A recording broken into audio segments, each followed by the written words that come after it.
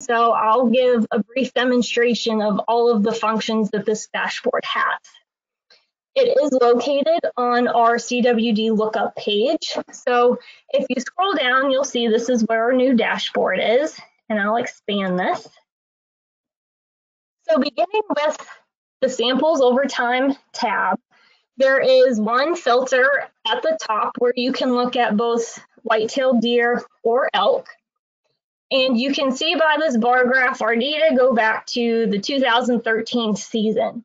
Um, an important thing to keep in mind with this dashboard is previously we reported results based on calendar year, but this actually breaks our data down into season. And if you hover over each of these bars, you can see the exact number of samples that were tested in that given season, and you can see where we currently are in this season.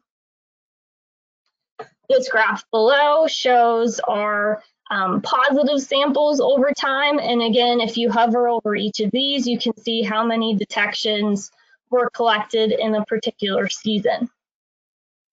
Now, if we look at elk, um, our data actually only go back to the 2015 season, but again, it's the same idea where you can see how many samples were collected during that season. And fortunately, so far, we have not had any CWD detections in our elk.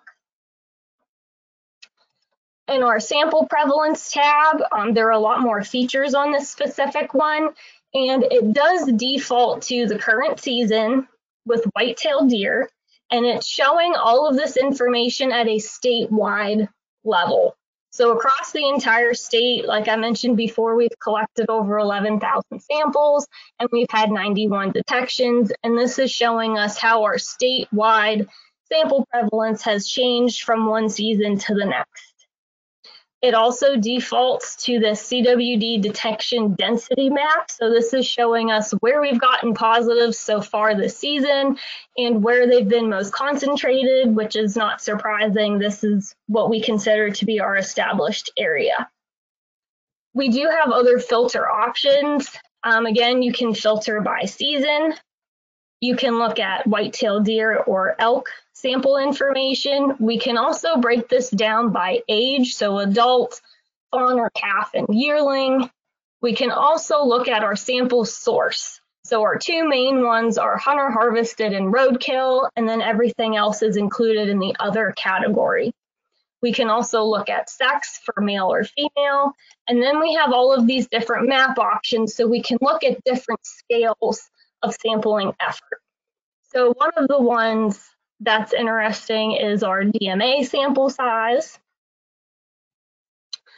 So the different colors here simply uh, represent different sample numbers. So the darker the color, the more samples that particular area has. If you change this DMA map by season, it will actually change those boundaries so you can see which boundaries were in effect in that particular season. Now, if you hover over them, it gives you the specific information for how many samples were tested in that DMA and how many detections we had. So in DMA3, you can see that changes to about 1,700 samples and one CWD detection.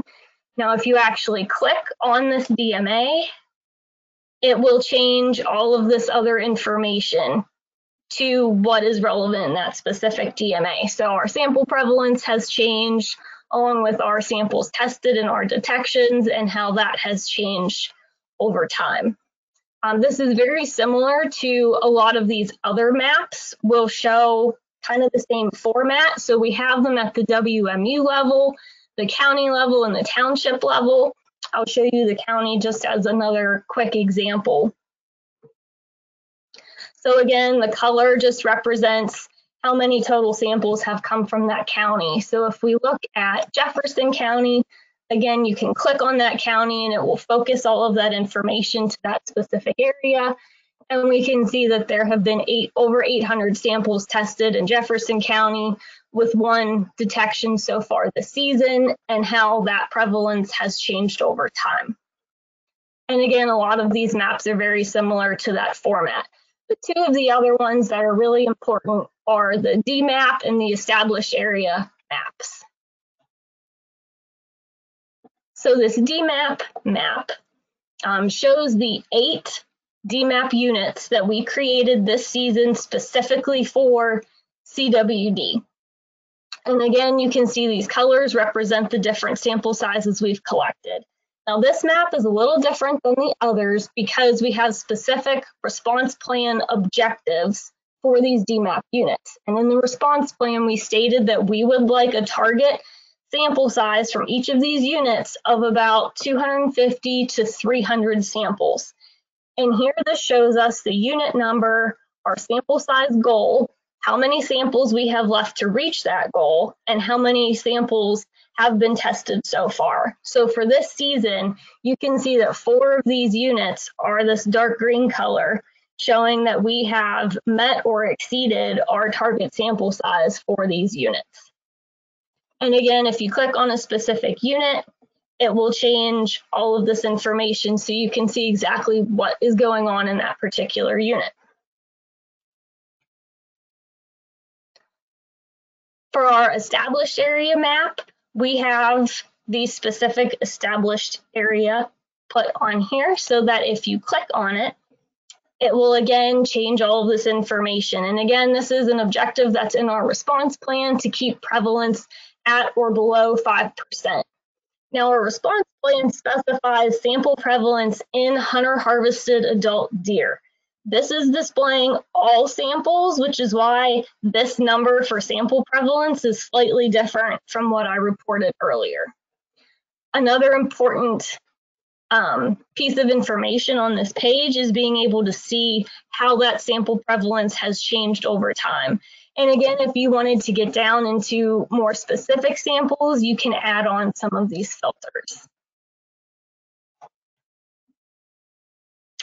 For the sample statistics tab, this provides basic statistics on sample source as well as distribution by sex and region, as you can see by these pie charts on the left. Um, this is broken down into our hunter harvested samples and roadkill samples because again, these are our two main sources for samples. We also have the other category here, and if you actually hover over this number, the tooltip will show you exactly what is included in those other samples. And it functions the same way for these detections that fall into the other category.